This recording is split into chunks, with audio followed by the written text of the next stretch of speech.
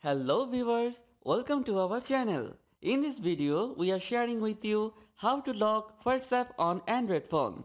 So keep watching till the end and stay with us.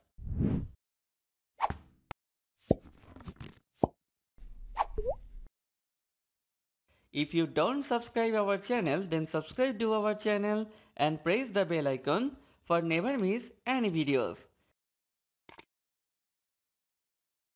First you need to install one application. So open Google Play Store. Search in here Apps Lock.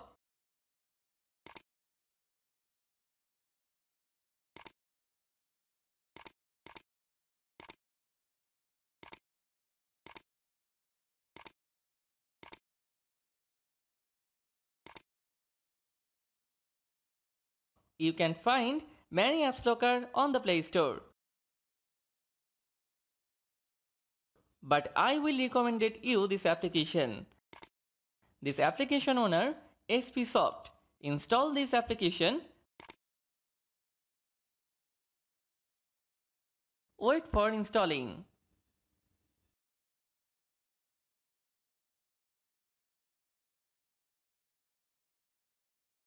After install, click on the open button.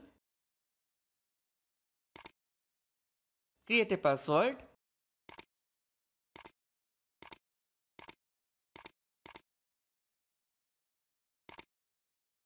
Again, enter the same word. If you want to lock apps with fingerprint, click on the Yes option. After open Apps Lock, click on the plus icon. In here, select WhatsApp application.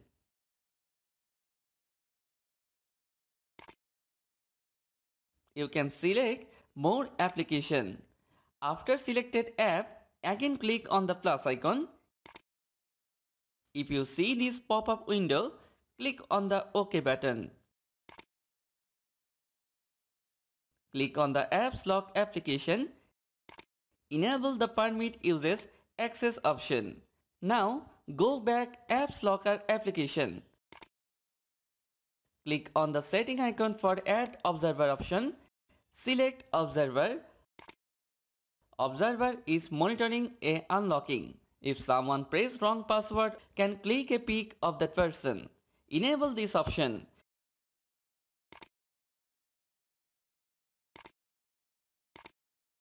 Now close this app for checking.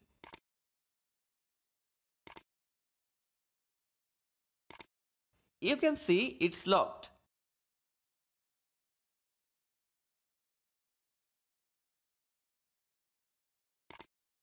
When I am pressing wrong password, it took my picture. How to find observer picture? Open Apps Locker